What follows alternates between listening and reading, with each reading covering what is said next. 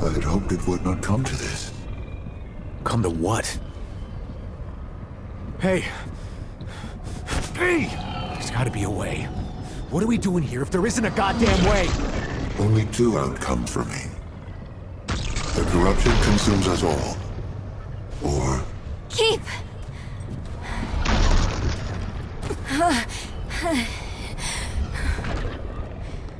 What's going on? Why... Why isn't it staying dead? the corruption is inviolate. Containment is no longer a viable option. The only outcome left is annihilation.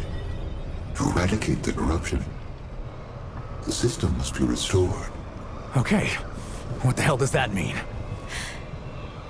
It means wiping everything. Starting over. Starting over? I thought we were trying to stop that from happening. We have no choice. The root will destroy everything.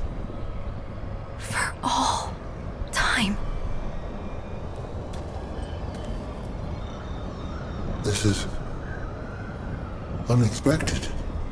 I am reluctant to execute. No. Keep, there's another way.